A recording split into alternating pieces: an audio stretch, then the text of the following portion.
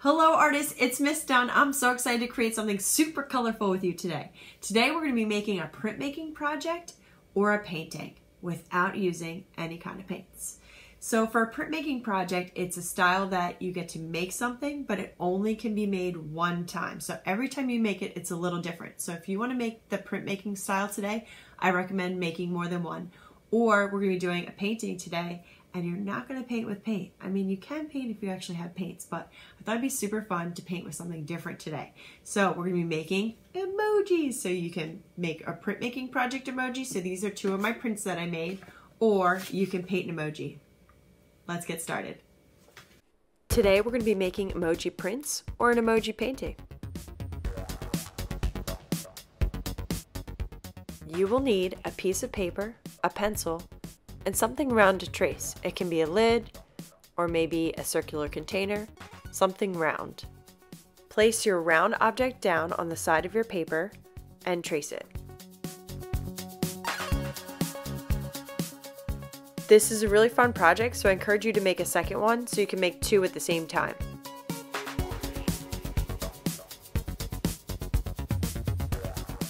We're going to cut the paper a little bit smaller so that way they're individual. So go ahead and fold your paper underneath your circles, crease the paper, get some scissors, and cut right on the line. Repeat the same step one more time to separate the two emojis. Find the space in between the two circles, fold and crease the paper, get your scissors, and cut the line.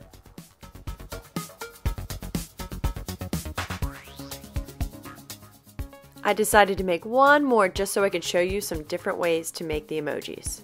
Go ahead and draw your emoji faces right in the circles. You can make up your own or copy an emoji, it's really up to you. Here are three examples that I drew and after these samples I have another whole page of different emojis that you can pause the video to check them out. To make the wink, just think of it as a sideways comma. You can combine different emojis too to make up your own. For a smile you can draw a letter U, go across, and you can even add some teeth if you want to. For this next one, I drew the crazy face expression, the one that has the eyes going different directions and the tongue hanging out. After you're done drawing the big circle and the smaller circle inside, go ahead and make the mouth. Make it nice and light because you might need to erase some parts. So as you're making the mouth, you're going to leave a space for the tongue. I added a line across for the teeth and then a big giant U for the tongue.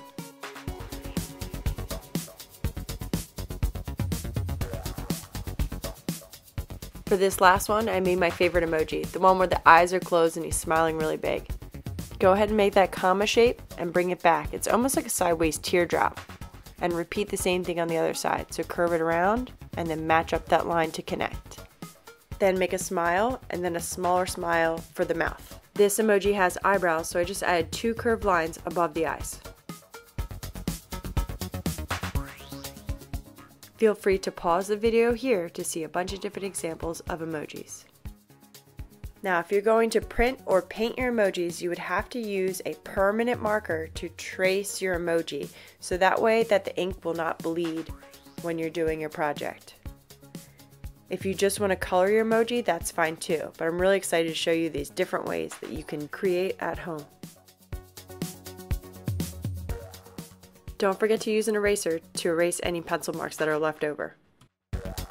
The first way you can color these is by making marker prints. They're super fun to do. You're going to need a piece of tinfoil and washable markers and a spray bottle with water only. Place your print on top of the aluminum foil Use a Sharpie and make some little marks so you know how far to color for your print. Place your emoji off to the side and get your markers ready. You want to use the side of the marker, so see the big bold side, not the tip to color. So hold the marker a little bit further in the back and go ahead and color the aluminum foil however you wish. You can really use any colors or all the colors, it's really up to you. Make sure to color all the way out to the side of the guidelines that you made so that way it covers your marker print. It's okay if you leave a little space of foil showing. Once you're finished coloring your foil, you want to get your water spray bottle out and you're only going to squirt it just a few times. I think I squirted mine three times and that was more than enough. Next, you're going to take your emoji, make sure you flip it over so it's face down, put it right directly on the top of your foil, and give it a good rub. You don't have to push super hard, but make sure you rub in the whole thing. After you're done rubbing, go ahead and peel it back for the final reveal. Ta-da! Look at this awesome print. Now, I have some missing space, so I can always put my paper back down and give it another rub. After you peel it back again, give it a look. You might like it the way it is. I really like this, but I decided to flip mine over and try and grab some of the extra ink that was left over. You can reuse the same piece of foil again, so you can just get some type of paper towel or a napkin and just wipe it right off, and then it's ready to use again. You can use the same process of using markers, spraying it, and printing as many times as you wish. You can keep the foil and keep making as many prints as you want. You can also paint your emoji. If you have paints, you can use them, but I'm going to show you how to paint with markers. And you can paint it in however you wish. If you are painting your emoji, make sure you use a permanent marker to trace first, and eraser to erase any pencil marks that are left over. You will need a sandwich bag, any size will work, washable markers, and a paintbrush. You will also need a cup or container of water. Using the side of the marker, color a little bit on the sandwich bag. Take your paintbrush and dip it in the water, then swirl it around right on top of the marker, and go ahead and paint it on your paper. And repeat these steps again. Water, paint, paper. When you're ready to switch colors, just go ahead and color the baggie in a different spot and repeat the steps water, paint, paper. Anytime you want to add a new color to your painting, just put it on your sandwich bag and keep repeating the steps water, paint, paper. If one of your colors runs out and you need more, there's a trick. You're going to wipe off that spot and then repeat adding marker to your bag and continue to paint water paint paper. Ta-da! This is a super fun way to paint and it's a little bit different. It's a fun process, so I hope you enjoyed it. You can use this process to really paint anything. I can't wait to see what you created today. I hope you had as much fun as I did making these.